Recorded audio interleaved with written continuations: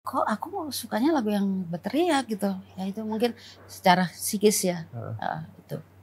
Terus uh, waktu itu di Tebet lah waktu mami pulang itu Hmm. di Tebet.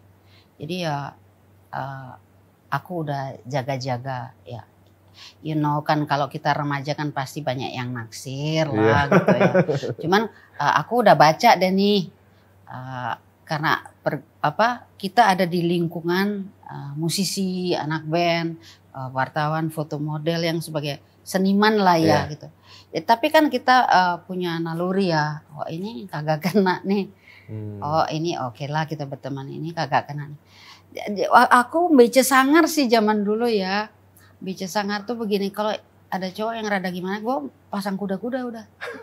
Gue duduk. Apa ya? Langsung begitu nih, langsung dia ngeper.